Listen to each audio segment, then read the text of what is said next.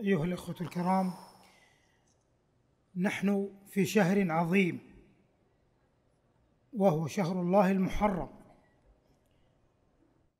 من الأشهر الحرم لأن الأشهر الحرم ثلاثة سرد وواحد فرد ذو القعدة وذو الحجة وشهر الله المحرم ورجب مضر الذي بين جمادى وشعبان. قال تعالى إن عدة الشهور عند الله إثنا عشر شهرا في كتاب الله يوم خلق السماوات والأرض منها أربعة حرم. ذلك الدين القيم. فلا تظلموا فيهن أنفسكم.